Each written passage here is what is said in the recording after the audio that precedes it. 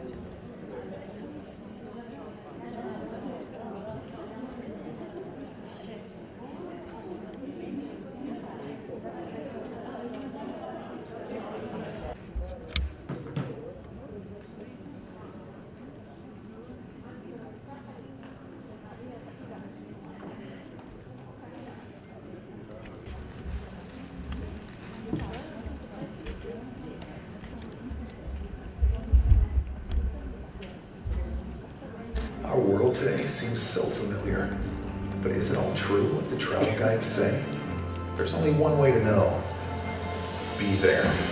Be there when the sky puts on a show. When the king comes out to play. Be there with a plan. Or without. Be there to taste their steaks, their cheese, their pies. Be there to lose yourself in a sea of colors. Fly Emirates to countless experiences across six continents. Because going is believing.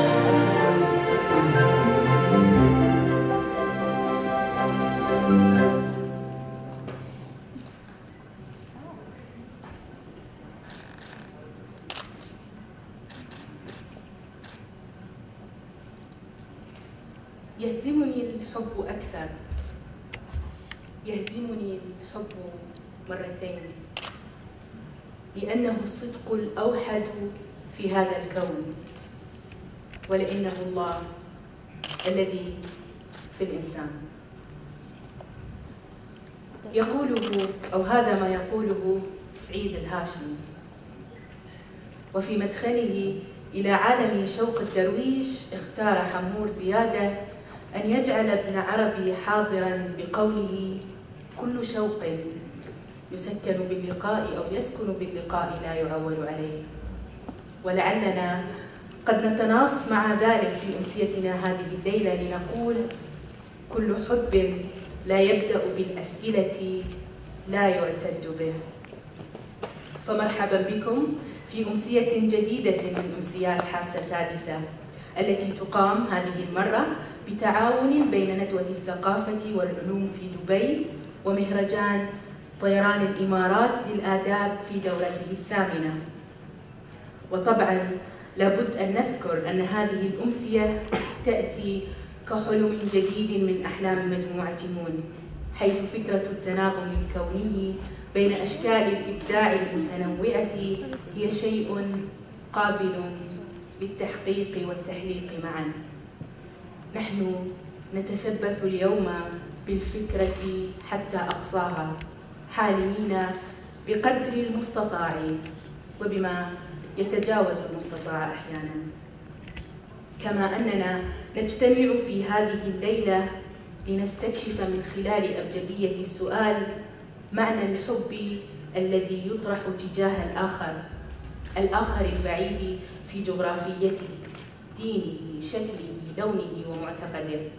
بل وحتى في فورات قطبه وانتقامه. مطلقين من ذلك شعار الحب في الأسئلة. ومؤكدين على أنك لن تفهم الآخر المختلف حقا ما لم تقترب لتستفسر. وتسأل ما لم تدخل في جدلية الأنا والآخر حيث لا يكفيك أبدا أن تعبره دون سؤال. اسأل حتى تحب وتحب. اسأل لتستقيم لتتجلى. وعن ذلك السؤال قد تكون الإجابة في هذه الليلة هي الكلمة التي تأتي دائما في البدء حيث الدرويش العاشق بخيت منديل أو بخيت؟ كيف تقولونها بخيت؟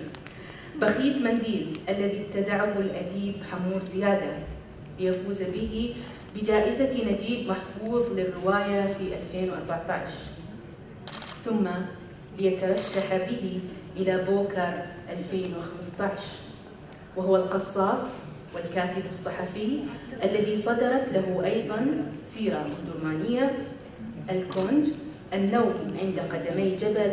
هذا بالإضافة إلى أنه شارك بالكتابة في مجلة روز اليوسف وجريدة الصباح.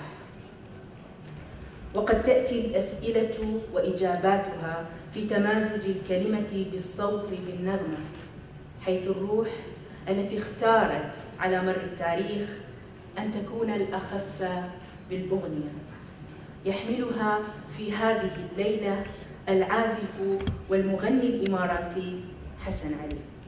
وقد يتجلى السكون وقد يتجلى السؤال في السكون الهادئ للأعماق ودوران الجسد حيث سيتجلى معنا في ذلك الفنان ياسر العراقي.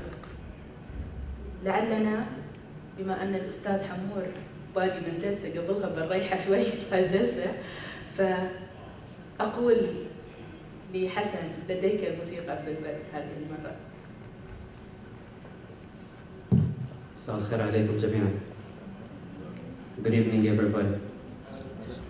إحنا لازم نتكلم إنجليزي وعربي. اللي يريح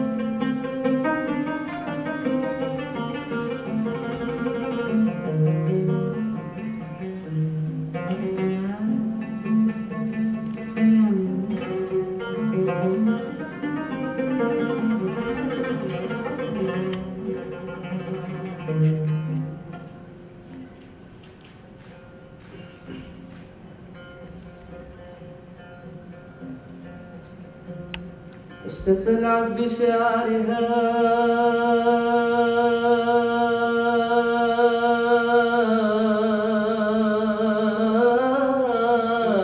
يا نسيم.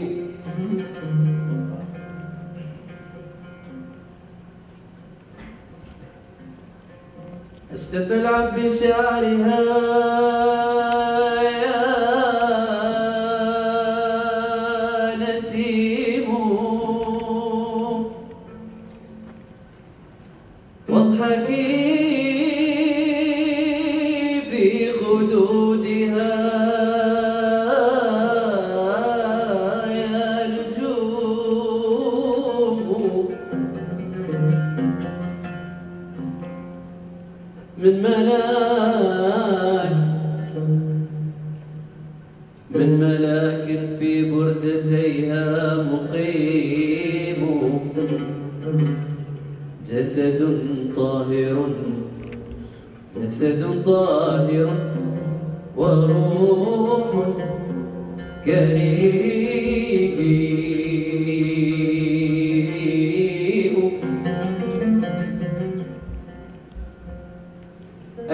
أشتف العب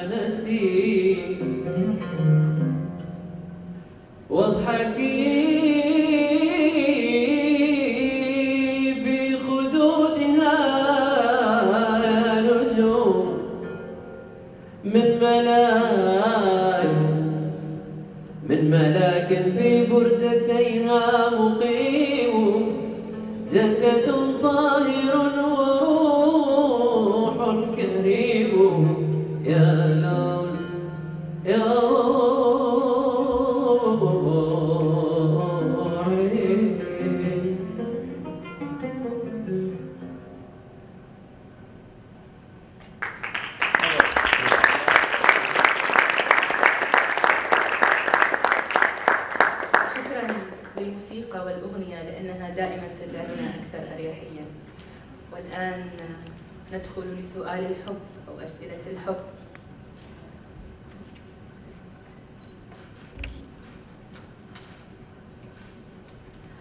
أستاذ حمور عندما نبت بخيت الجيل في رأسه بصوته الحاد الملتاع خائر القلب حاد اليد هل نبت في تلك النقطة تحديدا من التاريخ السوداني أم أنك اصطح- اصطحبته إلى هناك لاحقا؟ هذا سؤال مشكل. آه. بدينا بالمشاكل نعم. لا- أعتقد أن هناك كاتب يستطيع أن يقول آه أي فكرة من الأفكار المتعددة في عمل ما اتته اولا. مهم. آه لقد كنت أريد أن أكتب عن التاريخ السوداني من- منذ سنوات طويلة جدا قبل أن أبتدي مشروع الكتابة نفسه. لكن في نفس الوقت كنت أريد أن أكتب آه قصه حب آه، وفي ذات ال... وليست هناك يد أخرى. لكن على يد ثالثة كنت أريد أن أكتب آه، عن التصوف. أنا لست متصوفا. لكن أعتقد أن في ال- في ال- في التصوف طاقة محبة يحتاجها العالم في هذا الوقت بشكل من الأشكال. فلكن آه، لا أستطيع أن أقول بدقة آه، أن أن أن بخيت آه، قال يعني أتى بعالم التاريخ والمهدية أم ان من ذلك العالم نبت البخيت لكن دعيني فقط أستعير عبارة قالها إرنست همنغواي أن ال- الأديب يكتب في أفضل حالاته عندما يكون في حالة حب. يا سلام. آه، لم أكن في حالة حب. تحمسنا نحن ع- عامة. لكن كنت في حالة حب مع هذه الحالة حالة الحبيب ال- الذي يحب فتاة من سماع آخر وترفضه لأنه مختلف. أنا أحببت هذه الحالة فكتبت عنها بهذه المحبة جميل جدا. يقول بخيت منديل لست خائفا من الموت أنا خائف ألا أراك مرة أخرى. وتقول أنت عنه في مواضع أو في موضع آخر النار والدخان في قلبك النار والدخان في كل مكان. كيف للحب والكراهية أن يجتمعان في قلب بخيت أو بخيت الاندفاع الشديد نحو الانتقام والذوبان الزاهد في كل ما ليس له علاقة بحواء كما سماها هو. أعتقد أن هذا هو التناقض الذي يجعل الشخصية ثرية. أنه اجتمع فيه الحب واجتمعت فيه الكراهية وكان بشكل ما كل واحد منهما يغذي الآخر. آه، كان يحب حواء لدرجة أنه كره هؤلاء الذين آذوها. وفكرة كراهية هؤلاء الذين آذوها جعلت حواء في دورها حية عنده حتى بعد رحيلها فلم يستسلم للفراق التقليدي الطبيعي أنها لم تعد موجودة في هذا العالم فيبحث آه، آه، عن أخرى. هذا التناقض هو الذي صنع الشخصية الدرامية وصنع الشخصية الحية. آه، لولا ذلك لو كان أحاديا فيما عرض عنه لا يوجد بشر أحادي طبعا لكن لو كانت الشخصية الدرامية أحادية مع عاشق فقط أو كاره فقط أو منتقم فقط لفرق- فقدت كثير من من رونقها. ألم يكفي أن يعيش ذلك الحب في الفترة التي سبقت تلك النهاية الشنيعة لحواء ودورة؟ ليتخلص من ذلك من تلك الرغبة الشديدة آه، للبطش دعنا نقول. ألا يكفي يعني الحب؟ هل هل أني مؤهل أن أجيب على لسان بخيت؟ أجل. بدرجة ما نعلم. طبعا لا أستطيع أن أجيب عن بخيت لكن أجب يعني يعني أقول ما اظنه أنا أنا أعتقد أن هناك حب لا ينتهي أنا أؤمن بهذا. وتبدأ هذه الفكرة الرومانسية غريبة. ربما أنا لست متزوجا إنما من يتزوجون يعني يكتشفون ذلك الجانب المظلم من الحياة آه، لكن أنا أنا أؤمن بذلك الحب الذي يمكن أن يعيش إلى ما بعد النهايه. جميل جدا. ربما سأنضج في مستقبل الأيام. لا نتمنى لهذه الفكرة أن تتغير. نحن نحتاجها بصراحة في هذا الوقت. آه، دعنا ننتقل إلى مقطع آخر في العمل. آه، تقول في